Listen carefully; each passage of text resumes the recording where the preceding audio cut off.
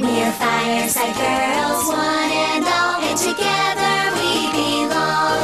We wear our patches upon our sashes and stand cute, small and strong. This is the fireside girls song, and it's not too terrible.